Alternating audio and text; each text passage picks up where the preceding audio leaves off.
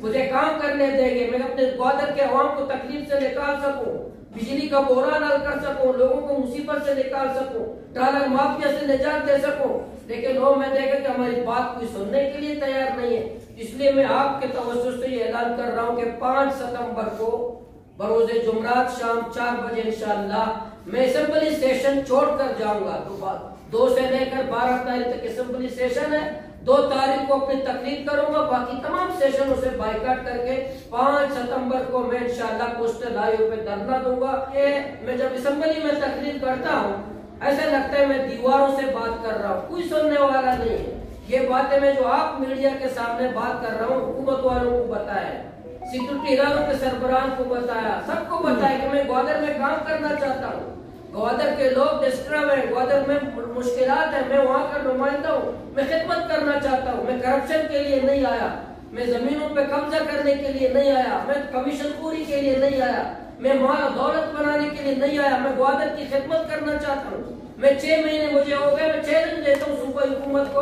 تمام اداروں کو ایک روپیہ، ایک زمین کا میں کسی سے بات کی ہو کہ مجھے دو۔ ایک کمیشن ایک روپے کی بات کی ہو کہ مجھے دو۔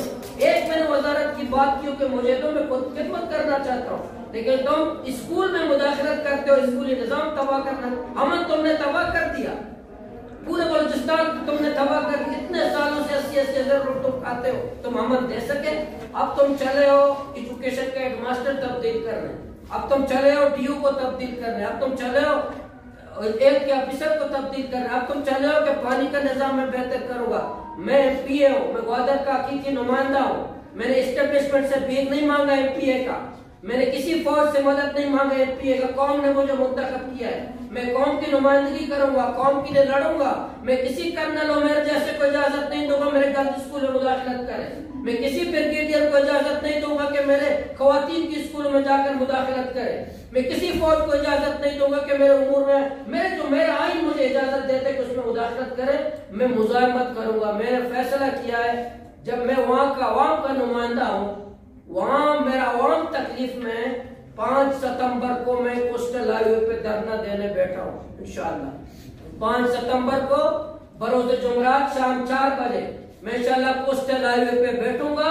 میں وہاں بتاؤں گا کہ سی پیک کا مادے کا جومر عوامی نمائندہ جو مجھے بیس سال دھوکہ دیتے رہے وفاق کی حکومت اور یہ صوبہ حکومت ہے۔ ان کے دفتروں کا تواف نہیں کرتا، ان کو جی حضوری نہیں کرتا، مجھے وہاں بدنام کرنے کے لیے یا مجھے ناکام کرنے کی کوشش کرتے ہیں تو ضلع گوادر کے عوام کے ساتھ میں پانچ ستمبر کو کوسٹل ہائی وے پہ دھرنا دوں گا، پوری دنیا کو بتاؤں گا کہ میں پارلیمنٹ پہ اس لیے آیا تھا، میں نے ووٹ اس لیے مانگا تھا، میں اسمبلی میں اس لیے آیا تھا کہ لوگ قوم کا درد محسوس کریں گے، ہماری بات سنیں گے، ہم سے بیٹھیں گے مداخلت نہیں کریں گے، مجھے کام کرنے دیں گے، میں اپنے گوادر کے عوام کو تکلیف سے نکال سکوں، بجلی کا بحران حل کر سکوں، لوگوں کو مصیبت سے نکال سکوں ٹرالر مافیا سے نجات دے سکوں، لیکن وہ میں دیکھا کہ ہماری بات کوئی سننے کے لیے تیار نہیں ہے، اس لیے میں آپ کے توسط سے یہ اعلان کر رہا ہوں کہ پانچ ستمبر کو بروز جمعرات شام چار بجے انشاءاللہ میں اسمبلی سیشن چھوڑ کر جاؤں گا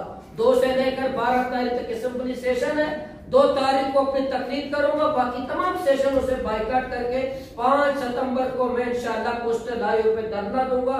وفاقی حکومتان جیسے لوگوں کو بتاؤں گا کہ عوام کے فیصلے میرے فیصلے کون کرتا ہے؟ گوادر کا نمائندہ کون ہے؟ چوکیدار گوادر کے فیصلے کرے گا؟ ایک نوکر گوادر کے فیصلہ کرے گا؟ یا گوادر کا عوام کا نمائندہ گوادر کے فیصلے کرے گا۔ گوادر کے نمائندے سے پوچھ کر فیصلے کرو گے، یا تم آج ستمبر انشاءاللہ پورا پورا گوادر کے عوام، گوادر کے مائکی گوادر کے نوجوان وادر کے تاجر برادری، وہاں کے سیاسی کارکنان، انشاءاللہ ان کو لے کر کے میں تمام سیاسی جماعتوں کے پاس سب کو جمع کر رہا ہوں۔ تمام سیاسی جماعتوں کو لے کے انشاءاللہ پانچ ستمبر کو میں کوسٹل ہائیوے میں بیٹھوں گا۔ انشاءاللہ میں آپ کے توسط سے یہ اعلان کر رہا ہوں۔ یہ اس لیے میں کر رہا ہوں چھ مہینے، سات مہینے سے میں تو برداشت کرتا رہا، گالیاں سنتا رہا، عوام کی تنقید برداشت کرتا رہا۔ لوگوں کی تنقیدیں بھی برداشت کی، لیکن میں صبر کرتا رہا کہ ابھی لوگ سنجیدہ ہوں گے، ابھی لوگ ہماری بات سنیں گے۔ ابھی ابھی شیپا شریف آیا تک کوئٹہ۔